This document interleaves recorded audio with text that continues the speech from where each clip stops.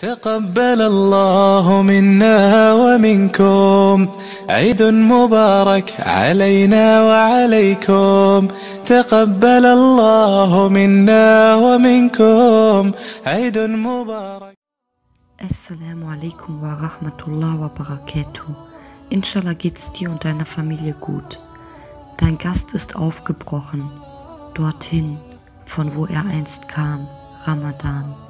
Er kam zu dir, ohne irgendetwas dabei zu haben. Das Einzige aber, was er dabei hatte, waren Segen, Vergebung und Barmherzigkeit. Er verließ dich vollgepackt mit deinen Taten, die du ihm gewidmet hast oder auch nicht. Wie hast du deinen Gast behandelt? Es gibt nur zwei Optionen. Erste Option, du strahlst und strotzt voller Iman und guter Taten. MashaAllah, Allahumma barik, Tabarakallah. Zweite Option, du hast mit Mühe kaum was vollbracht. Alhamdulillah. Wenn du dich für Option 1 angesprochen fühlst, so mache weiter, vor allem jetzt. Lass keine Lücke für Iblis. Er wartet nur darauf, dass du dich für eine kurze Zeit entspannt zurücklehnst, damit er sich dir nähert, bis du wieder an dem Punkt ankommst, wo du es nicht merkst. Sei stets wachsam, inshallah. Wenn du dich aber für Option 2 angesprochen fühlst, bist du zwar gestolpert und hast dir das Bein gebrochen, dein Bein umhüllt von Gips, wartet auf Heilung. Du bist der Meinung, dass du vieles verpasst hast. Dein Iman war zu jener Zeit schwach und ist es noch. Kaum Koran gelesen, Allah gedacht, Spende gegeben, Bittgebete gesprochen, gebetet, in der Nacht aufgestanden, um was zu tun für Allah oder gar gefastet, aber dir ist trotz all dem bewusst geworden, wo du ansetzen musst, um an dir zu arbeiten. Deine Seele mit Iman vollpumpen ist jetzt am Programm.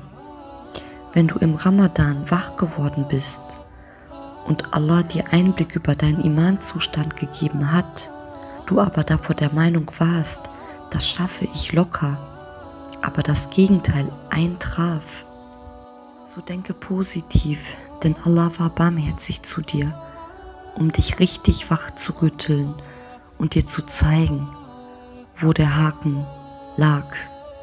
Freue dich und sei dankbar bezüglich der Offenbarung deiner Seele, deines jetzigen Standes. Ein Beinbruch ist keine Krankheit. Wenn du zutiefst traurig bist darüber, dass du so wenig Taten gemacht hast oder kaum was gemacht hast, so verjage deine Trauer jetzt, das bringt dir überhaupt nichts. Steh auf und starte erneut. Bismillah. Solange deine Seele noch mit, mit Luft versorgt wird, hast du nichts zu verlieren dann war es eben nicht ein Ramadan. Nächste Mal wird besser, inshallah. Aber damit du es nächstes Mal im Ramadan besser machst, darfst du nicht ruhen und solltest mit der Arbeit schnellstmöglichst beginnen. Denn nur die Regelmäßigkeit siegt und wird dir beim nächsten Besuch des edlen Gastes Erfolg bringen, inshallah. Kopf hoch, es ist kein Weltuntergang, dass nicht alles gut verlief Fange in kleinen Schritten an und steigere sie nach und nach, dann aber bleibe konstant.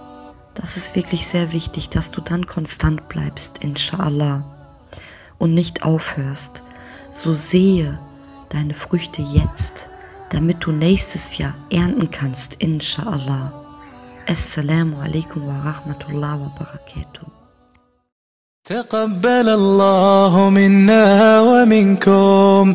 عيد مبارك علينا وعليكم. تقبل الله منا ومنكم. عيد مبارك علينا وعليكم. صمنا أياما أحلى الأيام. يا ربي أعدها كل الأعوام صمنا أياما أحلى الأيام. يا ربي أعدها كل الأعوام يا ربي أعدها كل الأعوام. تقبل الله منا ومنكم. عيد مبارك علينا وعليكم. تقبل الله منا ومنكم. عيد مبارك علينا وعليكم.